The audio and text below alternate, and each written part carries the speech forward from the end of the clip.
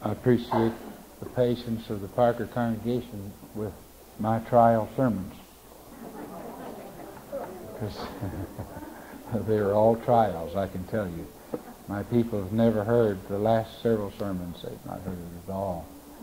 And uh, this one really is a trial. This one's not that it's a trial to me, and it may be that too. Uh, take Jesus to keep from being that. But uh, this one is, um, well, I need many more days, it would seem, or many more weeks to talk to you about this. Nevertheless, I've been in this passage for months now. And uh, one of the reasons for staying in is because I'm not satisfied with what insight or revelation God has given me. And sensing, because the Word is eternal, that there's much more there, I just simply stay with it day and night, often turning my light on at night and just reading through it and reading through it and reading through it. G. Campbell Morgan always read his passages 40 times before he ever preached them. 40 times. And so when you read his writings and you, you, you, you, under his pen you feel the exposition, you can see that he's one of the men that simply immersed himself in the Word of God and it would soak in him and he would live it and breathe it and eat it. So I tried to immerse myself. I've not read, I may have read this passage 40 times through the summer, but G. Campbell Morgan, before every Sunday, would take that text and he would go through it and go through it and go through it and go through it and go through it because at some moment it may open up. Glory may open up and, and the revelation fall into his soul. Don't be hard on people who are not Christian because we don't have as much revelation as we think we do to start with. Most of us have been brought up from children to think this is right. But God has uh, given us an advantage to put us in the right way that we might receive the revelation. And for persons outside Christianity to receive the revelation of Christ, receive the revelation of the blood, they don't have the natural atmosphere for it. And it takes an, an immediate miracle for them to get it. I'm thinking of, of uh, Sister McCall of Urbana, Ohio. She thought that her husband, Jesus, was for Americans and Buddha was for Japanese. She was the Buddha, Buddhist faith. But when she was in her bed, dying, and in fact she died, the, air around her stopped, and she knew she was dead. Yet her spirit had not left her body yet. And while she was still in her body, and even though she was dead, uh, there suddenly was Jesus at the foot of her bed. And immediately she knew who he was. And immediately she knew what the blood was about. Immediately she knew that he died for her. And immediately she was under conviction. So the revelation came just like that. She's from Japanese. So we don't want to be hard on Jewish people or Japanese or Indian people because it takes a revelation. It took a revelation for Jayapradha. She had as a young girl. She saw him there saw a vision of Jesus crucified and the blood.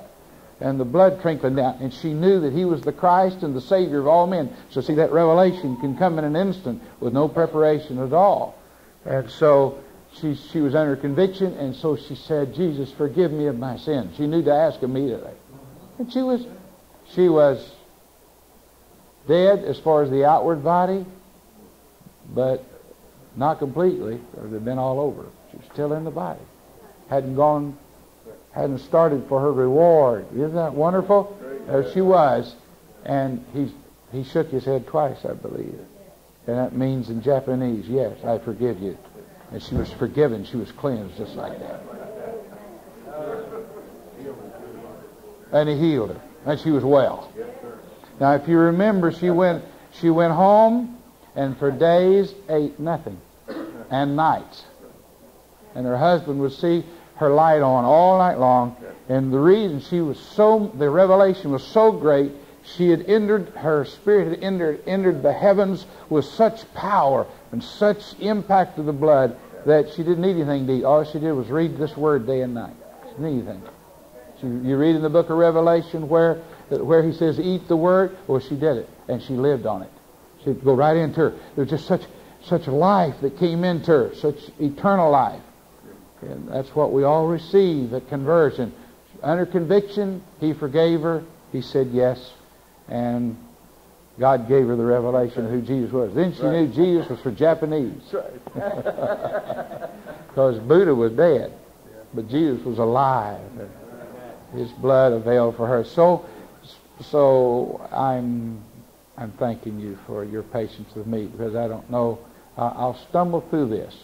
And I was a sermon or two already where I've been so nervous about coming before you. And Then I've got, I've got minds uh, that are better than mine here, and and Bible students and scholars that know more than I do, and so that just that's good though. That just make you humble, you know. I just say, well, precious Jesus, Hallelujah. They've got to listen to me, humble me, and help me. When you know when you get mashed down low enough, well, something beautiful can come out. Praise the Lord. Thank you, Jesus.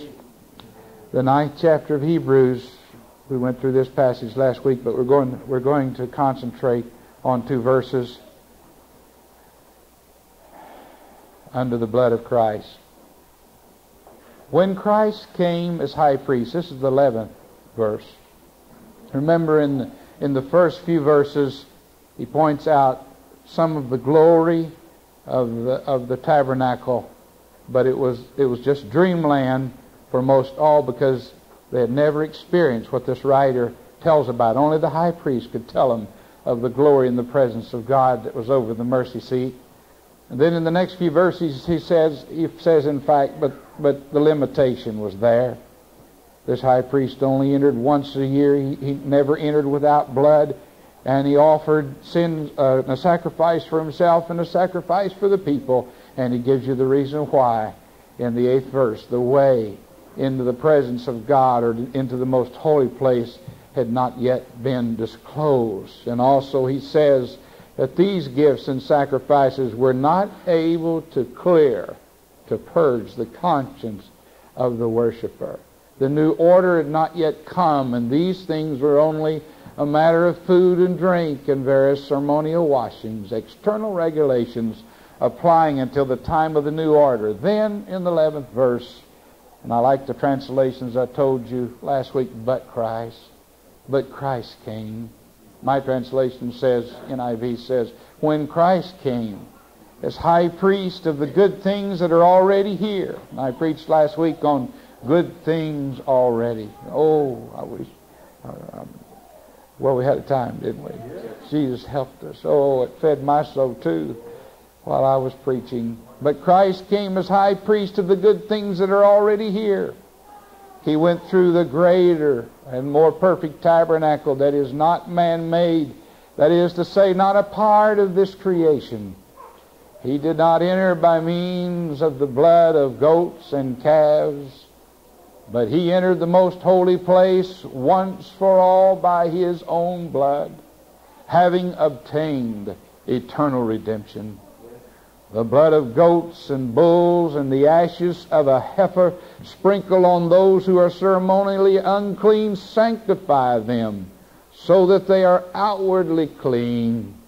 How much more then will the blood of Christ, who through the eternal Spirit offered himself unblemished to God, cleanse our consciences from acts that lead to death or dead works as some of your translations say, so that we may serve the living God.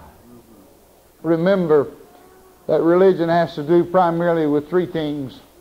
One is access to God everywhere. Religion is trying to get into the presence of God. Secondly, religion is trying to do, do away with types and shadows. Nearly all religion, and even the Christian religion, we're dealing an awful lot with types and shadows. We're dealing with that which points to the real, uh, not in true Christianity, but but I may point this out later. When you and I came out of uh, formalism, when you and I were called out of just ritual and just make worship, uh, we were we were called into the real. We were called to follow the voice of Christ. You see, so in Christianity, so called. And it is in name, but yet there's so much type and shadow. There's so much that's unreal. That's what Janet was saying in her testimony. There's so much that's dead. And it kills. The dead works kill. And even as the letter, just simply the letter does. And, and so religion deals with access to God. Men are striving to get into the presence of God. And other men have instructed them how. They're trying to do it. In India, some sit on nails, or they live on nails and torture the body to get into, you know, to accomplish the uh, to accomplish justice. He says the sin of, the soul that sinneth must die. So they think suffering, see, is the means of getting there, and uh, they accept. They try to themselves pay the price, and it's an impossibility. So we have access. Then we have uh, getting from the type and shadow to to the real thing. And finally, we have the necessity of sacrifice. And I've alluded to it already. God said, The soul that sinneth must die. But the mercy of God stayed our death. The soul that sinneth, it must die, just like water must run down a hill. And she said, We can't eat of this fruit because God said we'd die. And Satan said, Now, wait a minute. And he tried to he tried to get her to be uh, to get her away from that, and he did. And she did die spiritually. Right. And would have, they suffer, would have suffered an eternal death had she not have faith for the promise that came. So the soul that sinneth must die. But the marvel is that even in the very beginning, he provided, at least in type, a substitute. So he was teaching us of Christ. He was teaching us that through God's mercy, though through holiness we must die, through God's mercy there was going to be a substitute provided. So you have you have three things: access. You have the problem of types and shadows, and then then you have the necessity of sacrifice. The efficacy of the Old Testament sacrifices would not have been, they would not have been efficacious had it not, or effective had it not been for what they pointed to. There was no saving power in the blood of a bull or the blood of a goat. No saving power at all. It's, it's, what, it's what they were tied to in promise. They were tied, their sacrificial death meant nothing in and of themselves, but they pointed to something ahead. And the faith that the people had just to obey God, even though they might not have understood it at all, kept the channel open so that the power of the blood of Christ would reach back to touch them when they and stay their very death. It didn't purge them, but it stayed their death until the substitute, the real substitute, could come. Isn't that great?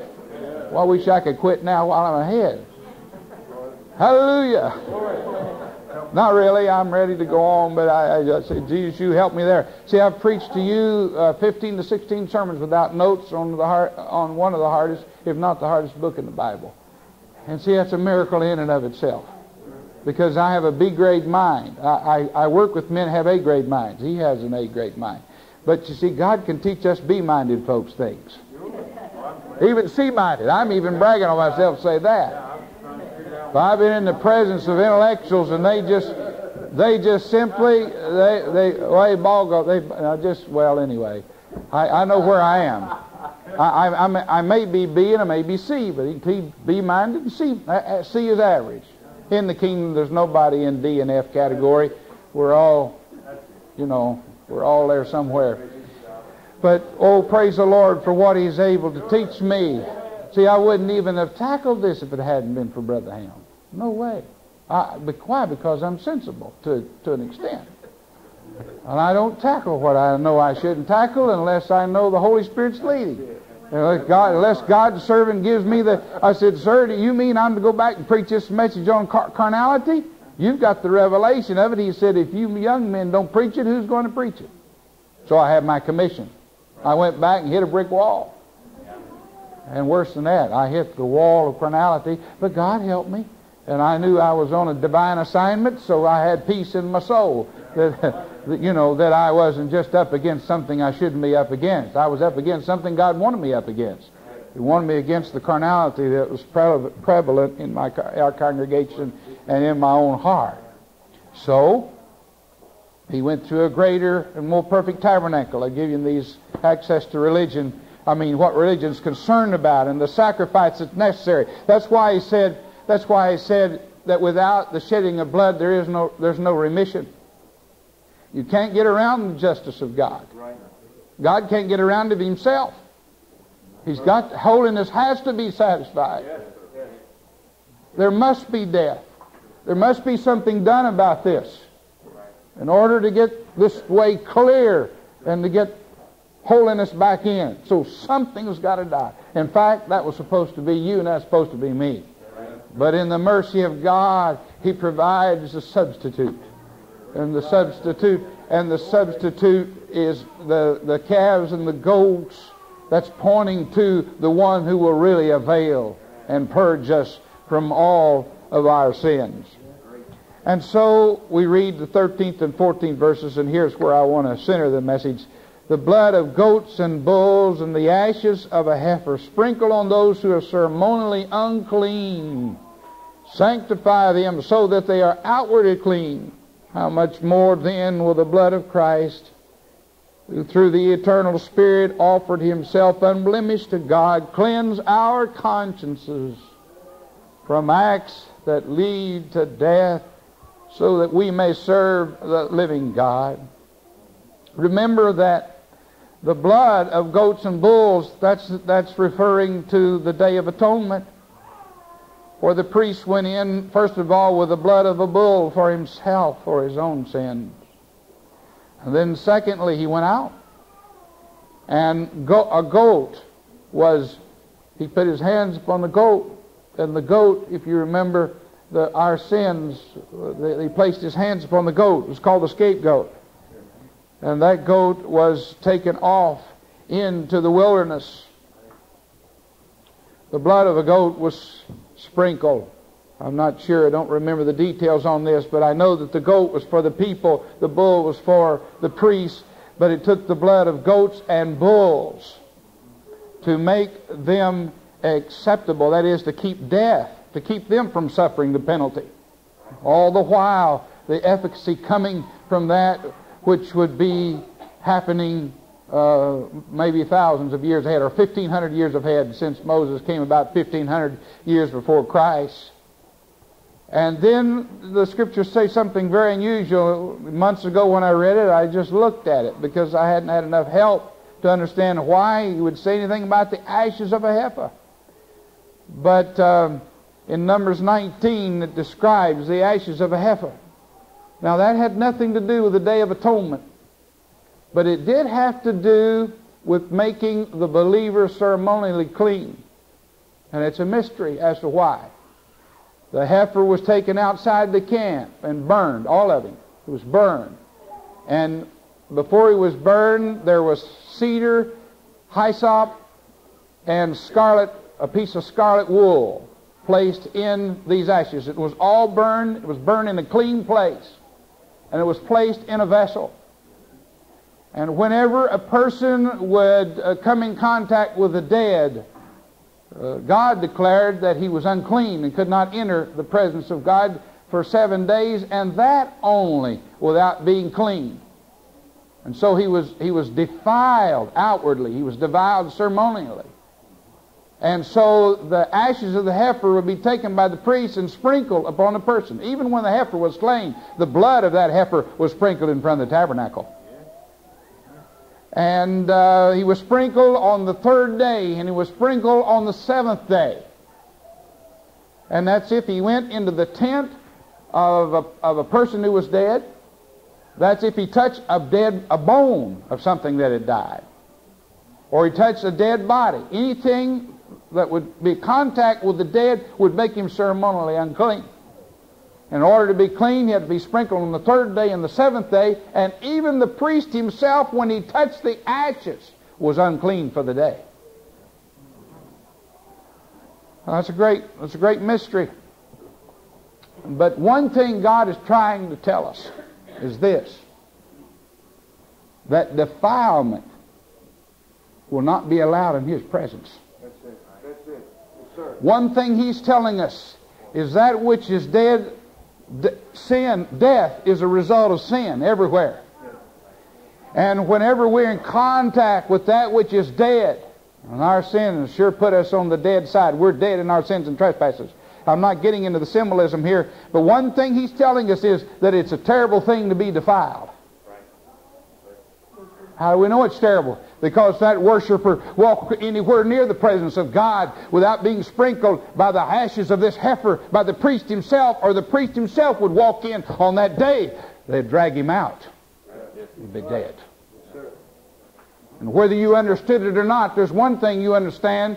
You, you don't do something that you know is going to bring your, about your death.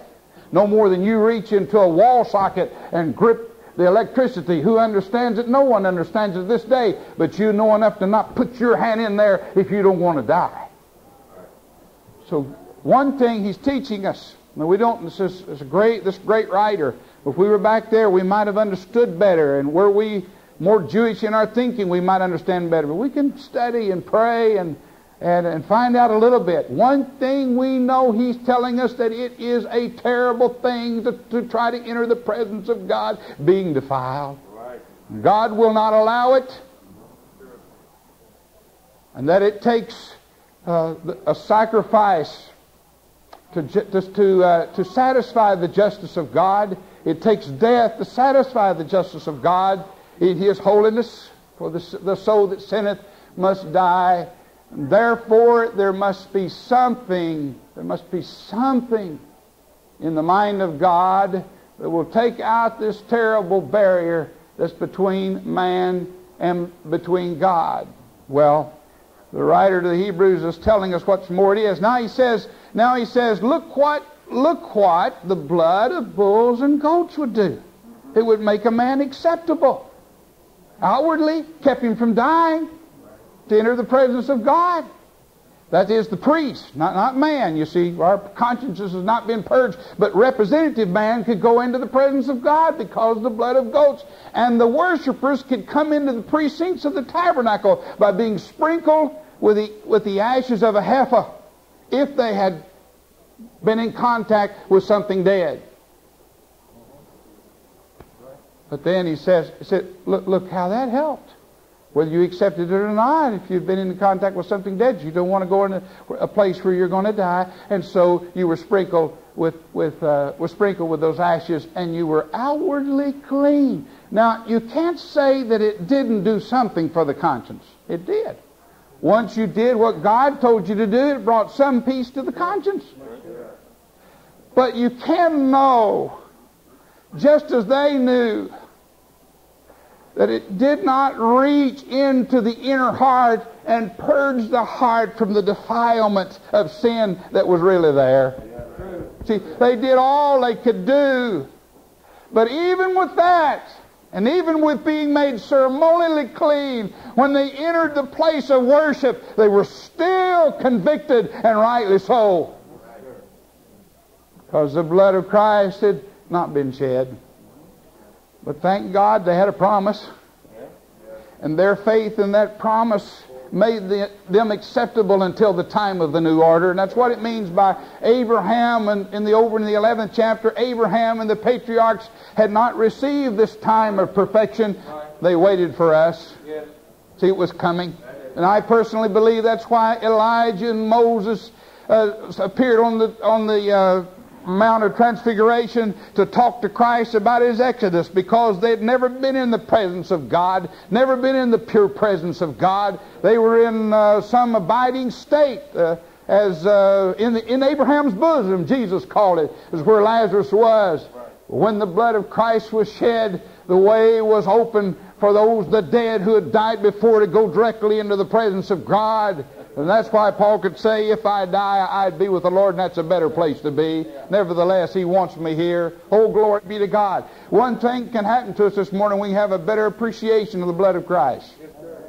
Why is it so powerful? What is it about it? Well, I can't understand it all. But at least the scriptures right here give us about three things to tell us how, why it is more powerful. For the writer says, How much more then will the blood of Christ, who through the eternal Spirit, there it is right there, offered himself, there it is right there, unblemished to God right there, there it is right there. There is why the blood's more powerful. This tells you why. We're talking about quality now. And because of this quality, it cleanses our consciences from acts that lead to death or from dead works so that we may serve the living God. Serve and worship for the same thing in, in their origin. We may worship God. We may serve God. We may be directly in His presence. Look, who through the eternal Spirit you could substitute life for spirit there and understand it better. That is the blood of bulls and goats did not have eternal life in them, Amen. but his blood did. Amen.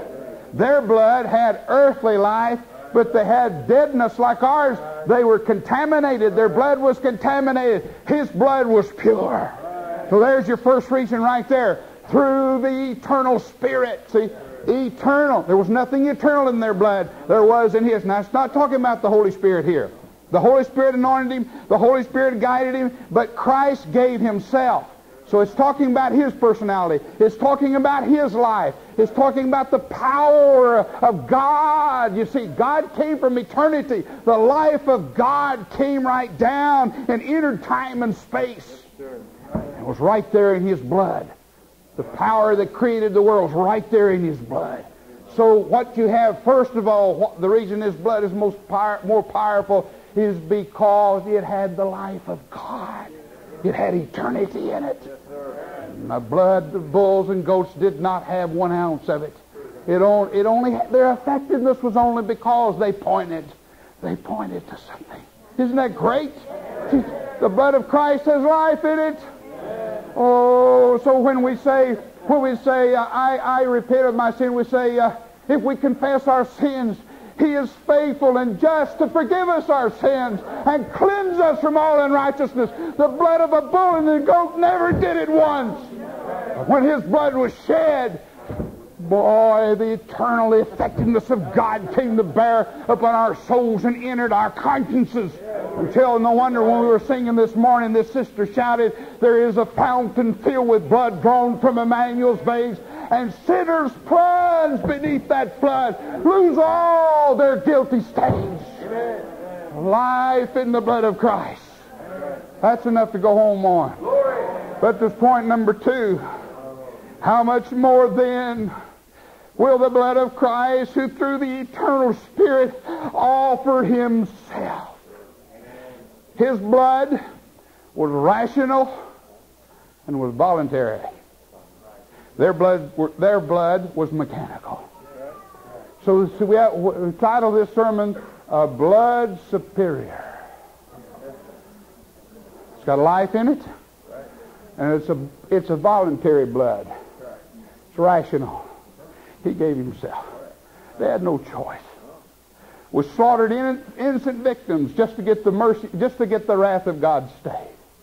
But when Jesus came, he offered himself. His blood is more valuable because he died willingly. In fact, I'll make it simpler than that. Hallelujah. His blood had love in it. Had life in it, had love in it. He offered himself. That's a better blood. A blood's got life in it, eternal life. A blood that's got love in it, brother. That's superior to the blood of an animal any day. Love. He offered himself. He loved us. So it's got life in it. It's got love in it.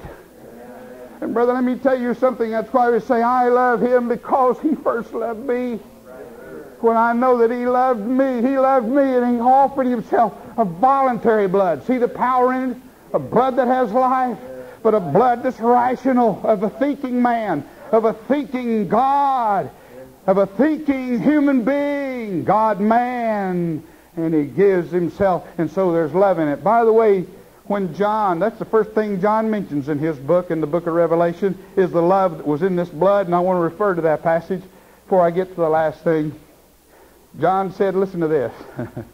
Grace and peace to you from him who is and who was and who is to come. It's the first chapter. I'm in the fourth verse. And from the seven spirits before his throne and from Jesus Christ, who is the faithful witness, the firstborn from the dead, and the ruler of the kings of the earth. To him, here it is, who loves us and has freed us from our sins by his own blood. All right? Strike and has freed us from our sins. And get the meaning of it. To him who loves us by his blood. Yes. Well, that's great. There's love in his blood. To him who loves us, you see, there's two aspects of the blood there, and has freed us from our sins by his blood. And here, I'm, I've got a sermon. Just this morning I saw this and underlined it. L- listen to this. And has made us to be a kingdom. Hallelujah. You can't have a kingdom without subjects, and we're subjects of the king.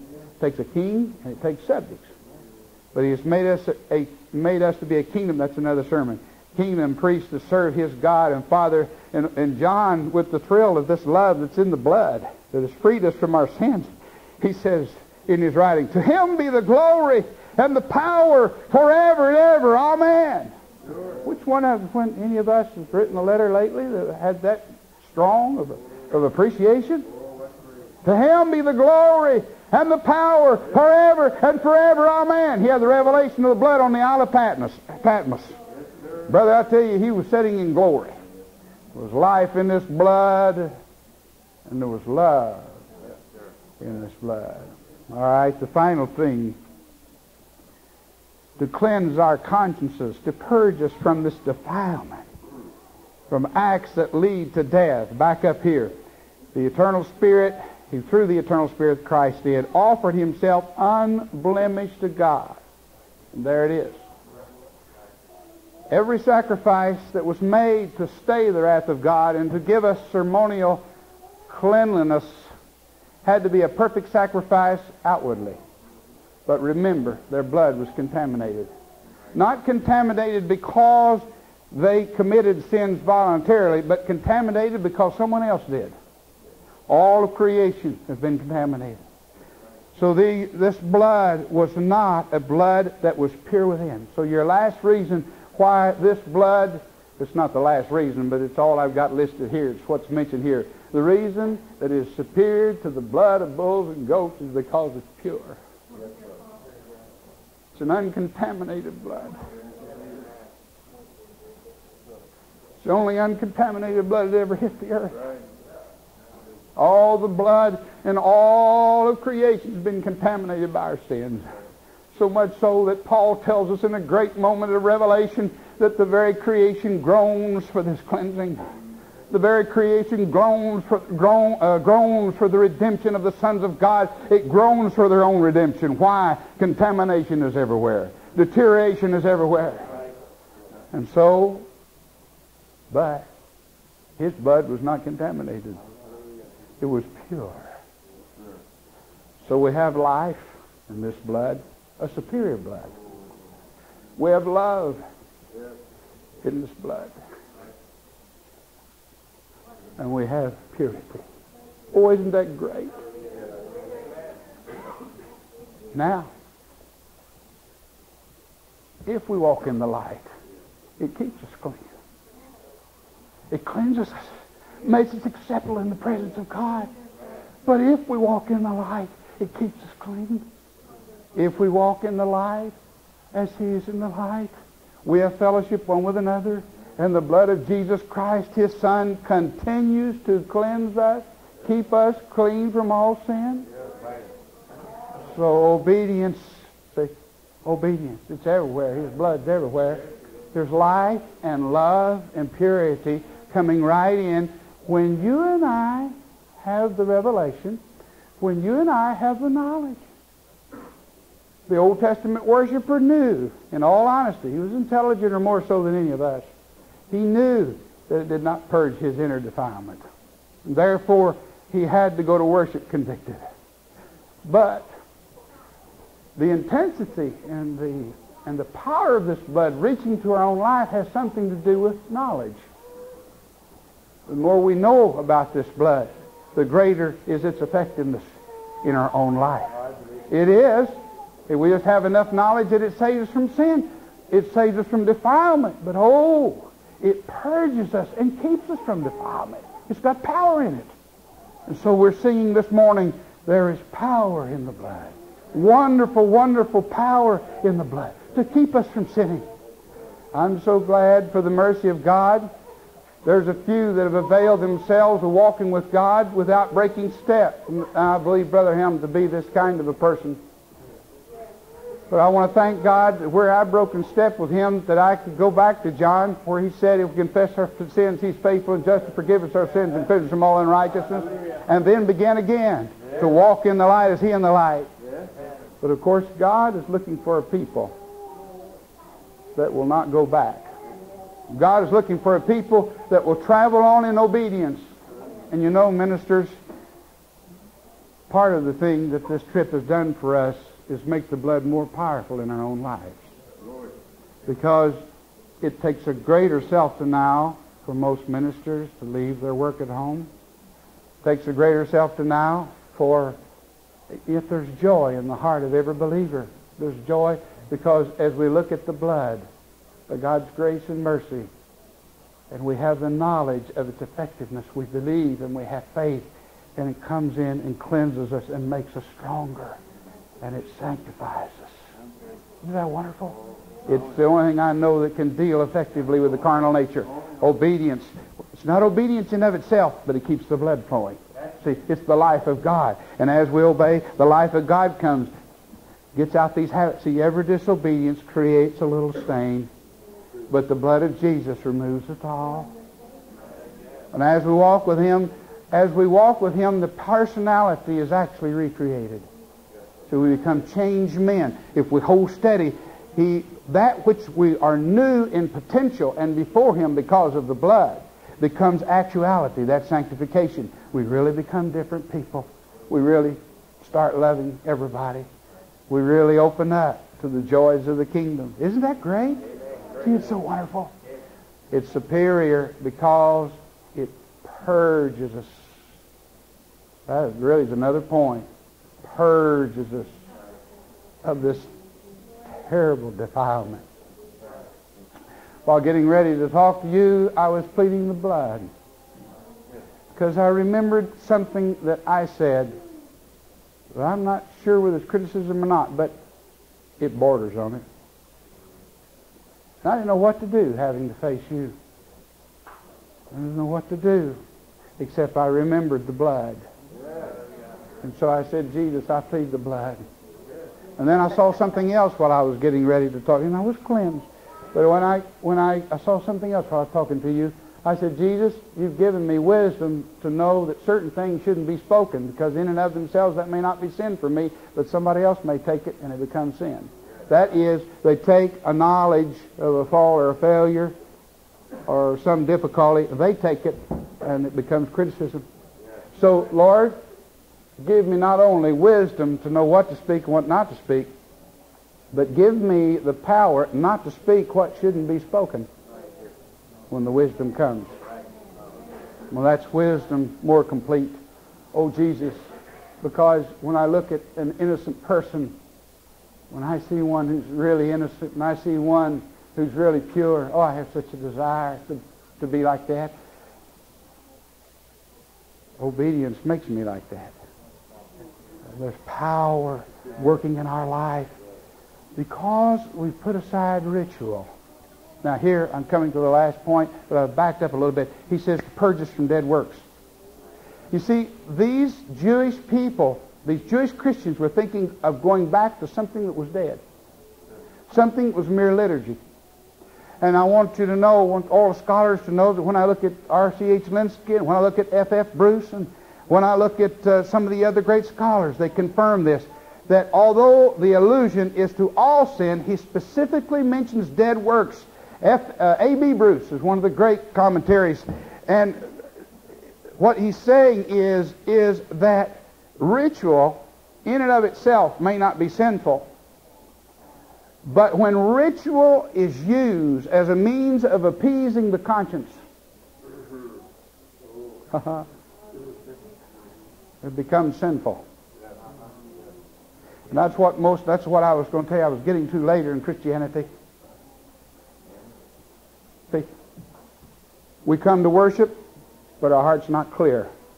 But the ritual of worship appeases. Therefore it becomes sinful. And it's a dead weight. He said this blood will purge us from that.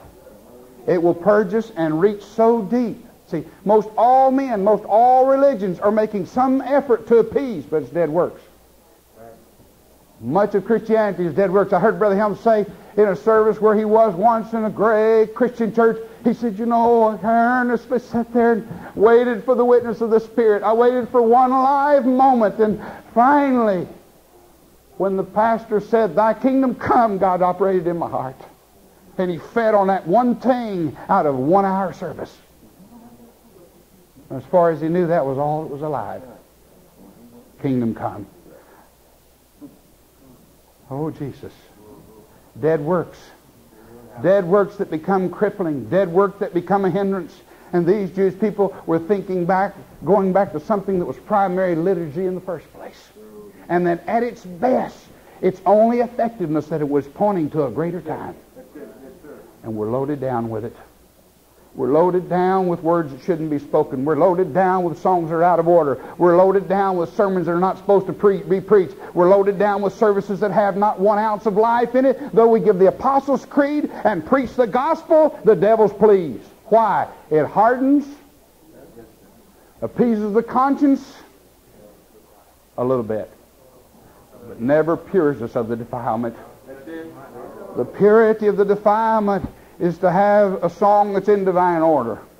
There's where the grace of God is dispensed. The purity is that we gather where Christ is ordained. The purity is, you see, you could just go on and on. You see how it is?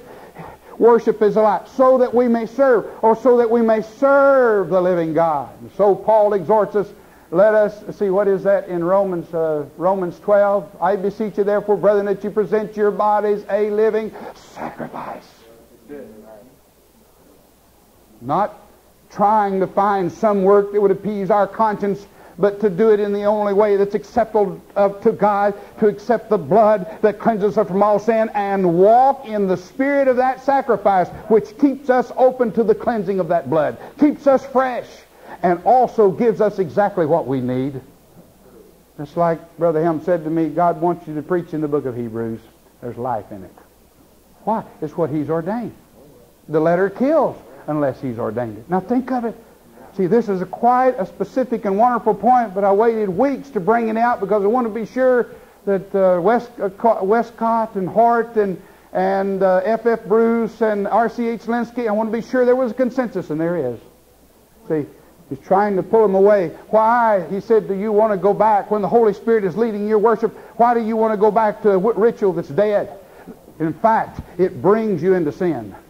The law itself is not sinful. But remember what Paul said about it? Actually becomes a stumbling block.